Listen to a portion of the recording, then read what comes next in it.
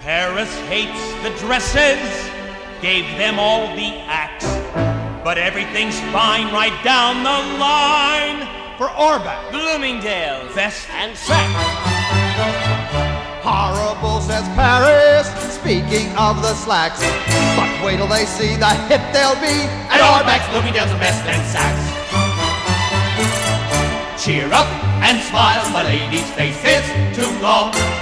180 million growing Americans couldn't be wrong. Clothes that have a simple line seem never old or sloppy. Plus, the fact the other kind is goddamn hard to copy. Out of date, says Paris. Youth is what she lacks. We guarantee this, they just can't miss. And At Ohrbach's, Bloomingdale's, and Best, and Saks. All your copies wear as well and last as long as a real Chanel? Are all the copies you make and sell exactly the same as a real Chanel? They're totally identical, in every way authentical, and made to a perfection no collection could surpass. Except the colors run a bit, the seams become undone a bit, the wool is made of plastic and the plastic's made of glass. and occasionally they go up in practically, yes, practically the same. TDS says Paris, flatter than her chest. But what'll they say on opening day at Ohrbach's, Bloomingdale, Saks, and Best?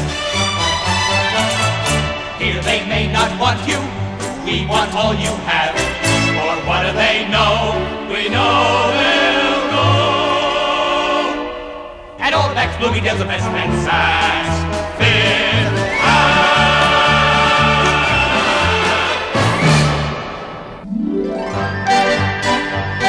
They're mad about the dresses, wild about the slacks. This heavenly four that I adore, from Ortons and Sackingdales and Blooms and Blooms and Ohrbach's and Saks. Handsome, rugged angels tell me to relax. They know that I'll sell like creme caramel at Orblooms and Backingdales and Dales and Backs and Dacks and Backs and Saks. God bless George Washington, Sam Goldwyn, and Ike. Three cheers for Al Capone. And God bless the eagle on the top of Peak Spike. These saintly men of muscle, filled with charm and poise, are positive that I'll knock them flat at or best Sackingdales and Blooms. and Saks.